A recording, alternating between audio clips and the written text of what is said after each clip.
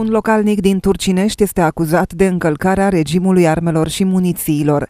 La domiciliul bărbatului, în vârstă de 50 de ani, polițiștii au descoperit o armă de vânătoare și cartușe, printre care și unul confecționat artizanal. La data de 16 martie anul curent, polițiști din cadrul postului de poliție Turcinești au efectuat un control la locuința unui bărbat de 50 de ani din comuna Turcinești, persoana autorizată pentru a deține, purta și folosi arme și muniții.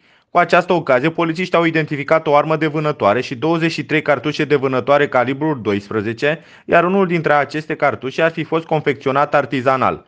Polițiștii au procedat la ridicarea armei de vânătoare și a celor 23 de cartușe de vânătoare. În cauză, polițiștii au întocmit dosar penal sub aspectul săvârșirii infracțiunii de nerespectare a regimului armelor și munițiilor.